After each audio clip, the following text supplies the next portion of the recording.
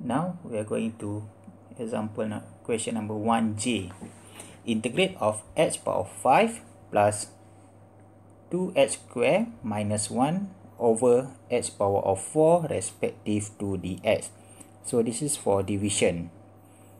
How to solve this kind of question? So for the first thing we need to divide 1 by 1 okay it's mean like this.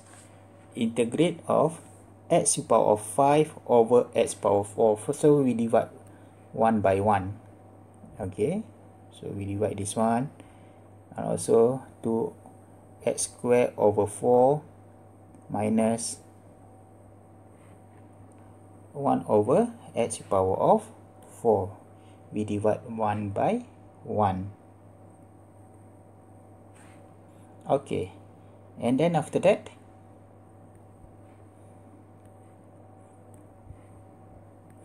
so they became x power of 5 over x power of 4 so they became integrate of 1 integrate of x respective to the x. So we are move we are split 1 by 1 and then 2 of 2x square over x power of 4 so they became x power of negative 2 and then the constant we move into in front of integration after that.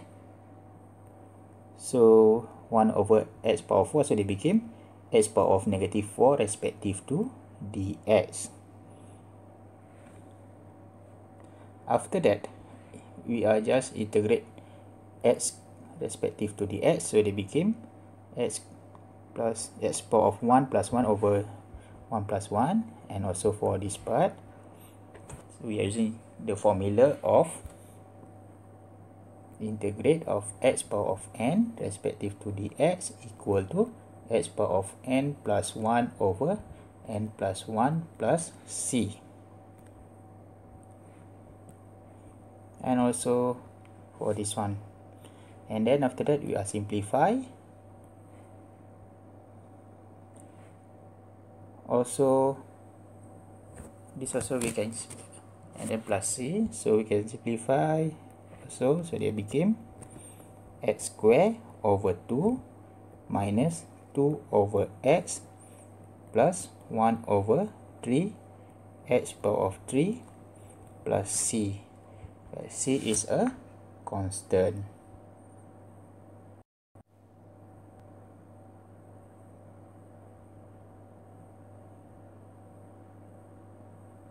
Okay this is one of the common mistake made by student which is integrate 3x square plus 4 divided by x plus 2 respective to dx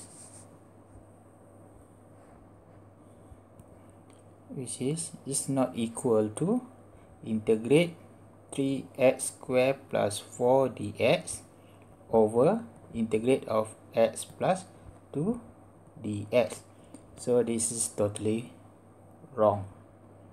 Okay. Don't do like this